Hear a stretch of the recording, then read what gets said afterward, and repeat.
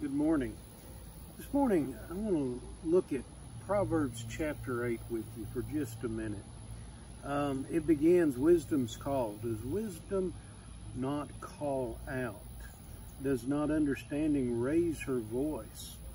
So, we're, we're, this whole chapter is dealing with the idea of wisdom. We drop down to verse 22. The Lord brought me forth as the first of his works, before his deeds of old.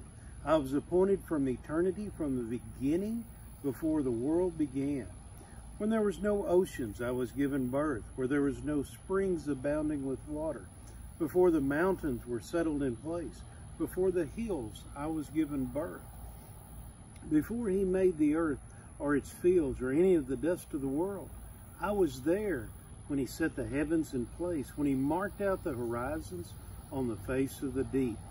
Skipping down, I was the craftsman at his side. I was filled with delight day after day, rejoicing always in his presence, rejoicing in the whole world and delighting in mankind. This is talking about the wisdom of God. It's not talking about Jesus. This is very, very clear. But this wisdom that God used as he created everything is the same wisdom that he offers you and I. It would be something to turn that down. Would you pray with me?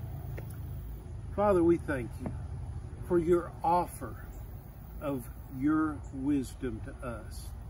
Father, I need it and I desire it. Our nation needs it. Father, please bless with wisdom. In Jesus' name. Amen. Have a great day.